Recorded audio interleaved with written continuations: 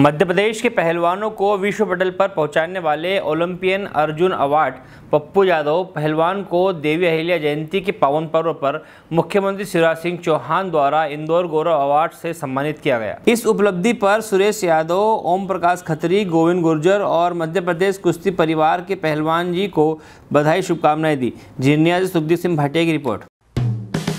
Hello friends आप देख रहे हैं हमारा channel S W twenty four news हमारे सारे वीडियो सबसे पहले देखने के लिए आप हमारे चैनल को सब्सक्राइब करें और पास में लगे बेल आइकन को दबाना बिल्कुल भी ना भूलें।